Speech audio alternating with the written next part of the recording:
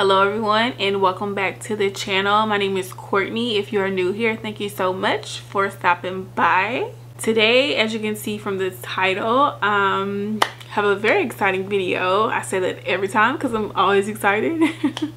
But i am finally opening my mug press. Um, i got this mug press probably close to a year ago i want to say shame on me. I literally have just had this mug press on the floor. And if you saw my previous video about my sublimation printer it's kind of the same story. I bought the um, mug press and just pretty much left it on the floor. Didn't open it at all. So who knows the state of this thing? Don't do this. Anything could be wrong and then you'll be out of warranty. Maybe like just don't do this. But again i didn't have anywhere to put it and low-key a little intimidated so but i'm gonna open it today. We're gonna get this thing open and we're gonna do some um, test mugs with actually the Cricut brand. Now i'm a little bit nervous about this because um, if you know anything about Cricut's mug press I think it's like automatic so you don't really put any type of um, time on it. It just releases when it's done from my understanding so I try to look at some forums and just watch some videos and people say it's about five to six minutes which is totally not the same from like other mugs I've seen people do in like regular mug presses like the one that I have from Heat Press Nation. It's normally like two and a half, three and a half minutes. So I'm like, should I do five minutes because it's a Cricut mug press and I'm using my mug press? Or should I do like the three and a half minutes? So I'm probably gonna try to meet the middle and I'm gonna do like four minutes on this um, from the Cricut brands mugs. So we'll see. Fingers crossed. Hope that works out. And a couple other things I figured out well not figured out but seeing is people some people dip their mugs after they press them into like some warm water. I guess that like stops it from continually to sublimate or something. I don't know. I just try to look up all the um pointers and tips that I can since I'm new to this. So a little bit about the, the uh, mug press that I got. It's the HPN Signature Series Automated Sublimation Heat Transfer Mug Press. I believe it's the two-in-one, so it's 11 ounce and 15 ounces. I think you can also purchase um, attachments.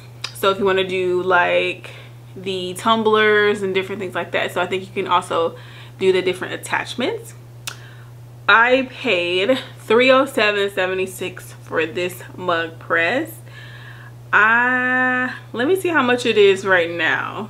So as of right now today it's $349.95 so not too much more than what I initially paid. I think I had some type of coupon or something like that um, for a little bit of money off. So definitely we're gonna set this up and see how this goes and just pray that nothing's wrong with it. I've had it sitting on the floor for a year, so I don't know.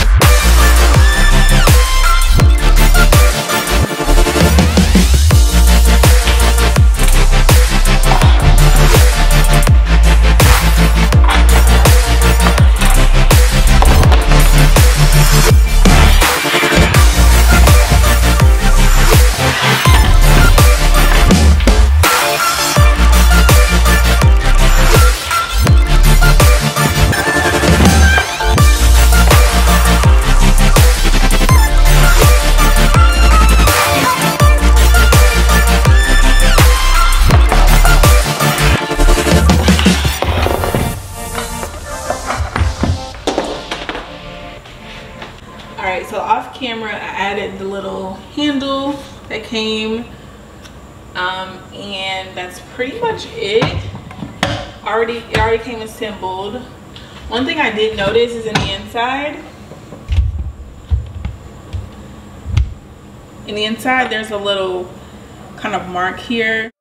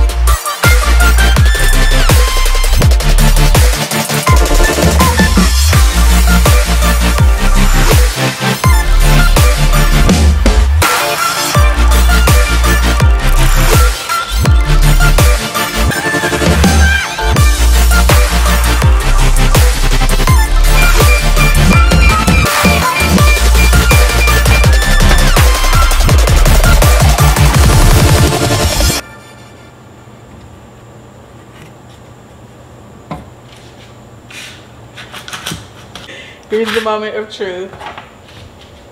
Here we go, guys. Scorch the paper, that's for sure.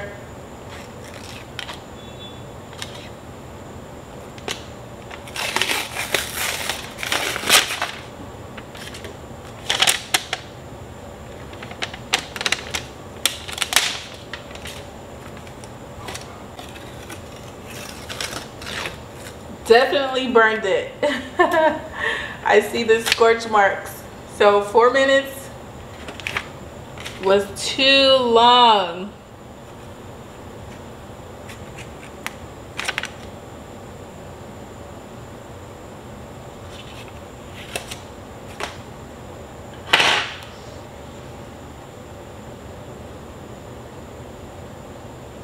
I don't know if you can see on the M I'm not sure. I'm not sure what that is. But the other side doesn't look like that. Hmm. Alright guys, so I've allowed the mug to cool. Um, I'm just sitting, I've been sitting here contemplating like, what in the world could I have done wrong? So many things, right? This is my first time, so I could have done a lot of things wrong. But one thing i think is i didn't have enough pressure so i tightened the knobs in the front because this has four pressure points two in the front two in the back. I tightened the ones in the front but i didn't touch the ones in the back so maybe i needed to adjust the pressure for those in the back. And the reason why i say not enough pressure let me show you. See how it doesn't look like it really took here and also i think i actually didn't have it pushed in all the way so that may also be it so maybe it was that i thought it scorched it but i guess not really so and then i see a little bit of ghosting sort of where the paws are I don't even think it's coming picking up on camera. It's not too bad. Show you guys. I think this is the biggest thing right here. And I think, like I said, either not enough pressure or I didn't push the mug all the way in, I think. I don't know. I'll have plenty of time to practice, I'm sure. But this is my first attempt with my, um, I was gonna say new. It's new to me. It's not new to my floor. been there for a year. But my first time with my heat press nation mug press and using the Cricut mugs at four minutes. So if you like this video, if you have any questions or suggestions, because your girl is open for suggestions, please help.